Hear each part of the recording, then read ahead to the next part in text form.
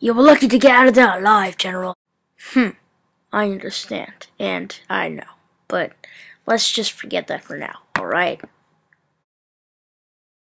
Hmm, uh, we're here, General. Uh, are you alright? Yeah, I'll be fine. Thanks a lot for your work, Captain. I really appreciate that. Look who decided to show up. Hi there, Master. Great to see you Come again. on, we have no time to waste.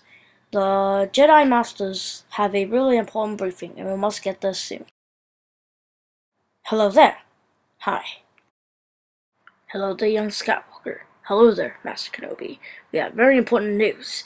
Clone Intelligence has found location of Count Dooku, so that is very important. Yes, indeed it is. Hmm? Now that we have located Count Dooku, attack we shall. And with that, the Republic can get an easy victory. Thanks the clone intelligence. Mace Windu will tell us the rest of this developing story. And we hope the best.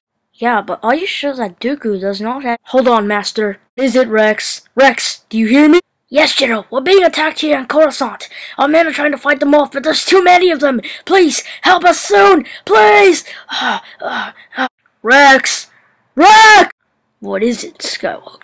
The Separatists have decided to attack Coruscant. Captain Rex is holding him off for the meanwhile, but he won't be able to hold him off any longer. We must go now if he wishes to survive.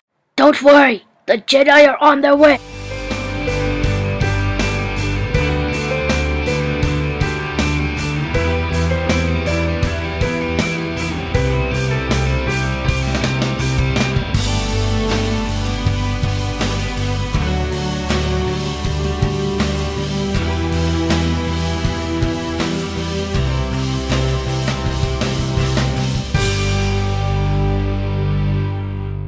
Master, just hold on. I am on my way right now.